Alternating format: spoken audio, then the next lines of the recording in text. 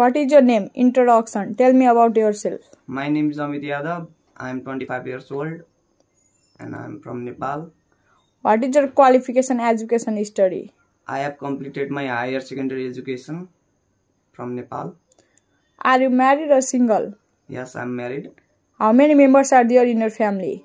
There are five members. Tell me about your work experience.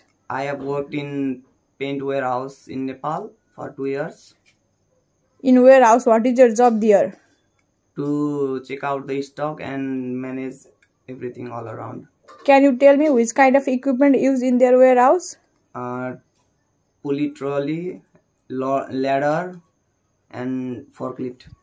Are you also applying in Romania as a factory worker and warehouse? Yes, I am applying for a factory worker.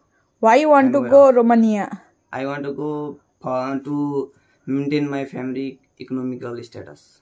Can you work 10 hours per day and 6 days in a week? Yes, I can do it. Do you work minimum 2 years continue in this company? Yeah, I can. Do you smoke? Do you drink? No, I don't drink any smoke. You have any family problem if you go to Romania? No, there is no problem. You have 100% medical fit? Yes, I'm fit. You taken COVID-19 vaccine? Yeah, I've already taken the COVID 19 vaccine. Okay.